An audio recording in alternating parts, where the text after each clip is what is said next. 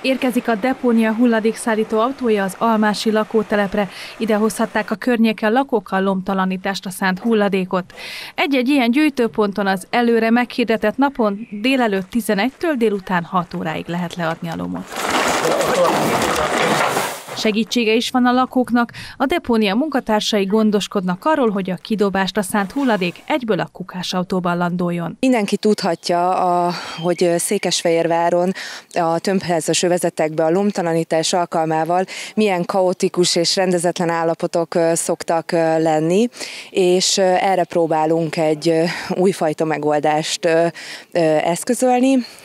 Voltak már egyébként erre vonatkozó kísérleteink a tavalyi és a tavaly előtti évben is. Itt összegyűjtöttük ugye a konzekvenciákat, és így találtuk ki ezt a fajta új rendszert. Ennek lényege, hogy a társasházak maximum pár száz méteres közelében a meghirdetett helyen és időpontban hulladékgyűjtő célgépek várják a lomtalanítani szándékozókat.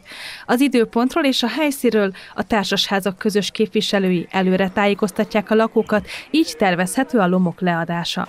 Fontos, hogy a leadáskor ne hagyjuk otthon a lakcímkártyát, mert azt a depónia munkatársai ellenőrizhetik. Így a szolgáltatásra nem jogosultak körét próbáljuk meg kiszűrni.